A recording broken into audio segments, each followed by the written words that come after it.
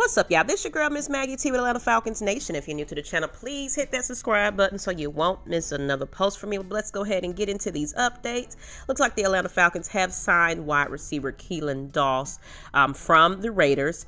He's been added to the practice squad, and we have released running back D'Onta Foreman from that practice squad as well. So now we currently have 16 players signed to that practice squad you know, like I said, it's going to continue to go on like this for quite some time. So, um, of course, he was picked up originally by the Raiders. Um, where he spent the majority of his career, other than just that week or so he spent with the Jaguars. Um, Doss has 11 catches for 133 yards in his career, with most of that coming from that 2019 season. Now, of course, he is currently the third receiver to join the practice squad, along with Juwan Green and Austin Trammell.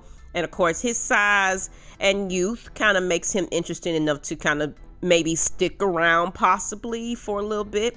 If he can kind of, you know, do his thing in practice, we'll have to just have to wait and see on that one. Like I said, there's a lot of moves going on that uh, you know, trying to make sense of it at this point. We just have to kind of wait it out and see what the final results of all these changes will be. You know, it is kind of a, a ring around the rosy type of situation right about now with people coming and going.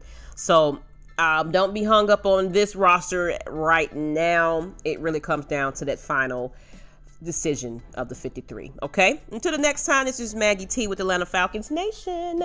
And we do have our Friday Night Madness tonight. Make sure you guys tune in at 8 p.m. Eastern Standard Time and hit that subscribe button.